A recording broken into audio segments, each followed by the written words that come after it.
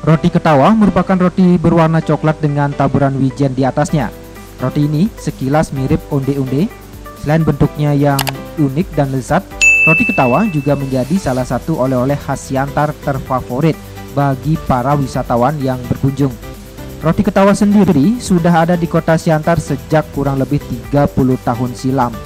Hal yang membedakan roti ketawa dengan roti onde-onde adalah roti ini memiliki bentuk di mana sisinya terlihat seperti hampir terbelah menjadi empat sisi.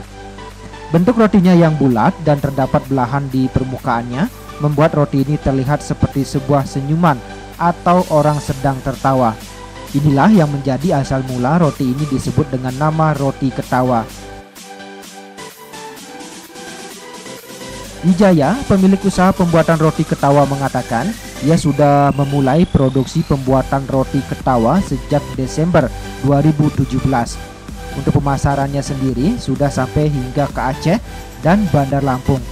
Adapun pemasaran dilakukan secara offline dan online. Jadi roti ketawa Waka Waka berdiri sejak Desember 2017.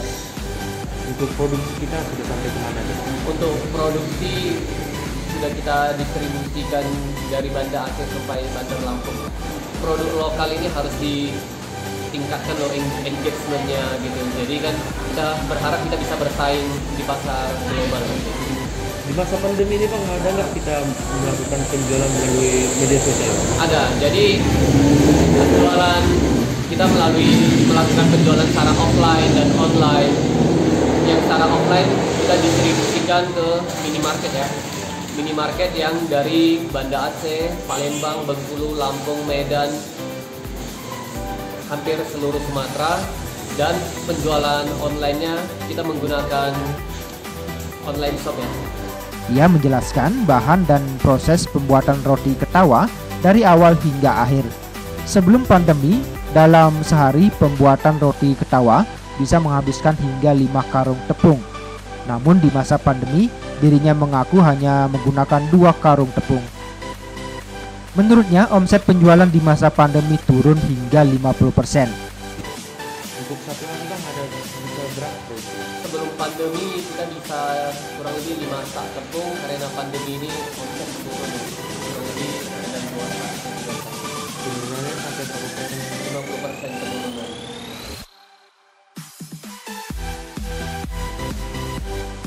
Julita Siahaan, salah seorang pembeli roti ketawa mengatakan dirinya sudah sering membeli roti ketawa untuk dijadikan oleh-oleh maupun untuk dikonsumsi secara pribadi. sering banget. Oh, gimana, gimana rasanya kan? Oh, rasanya tuh mantap, manis, gurih, rasanya juga pas. Orang tua pasti cocok ya,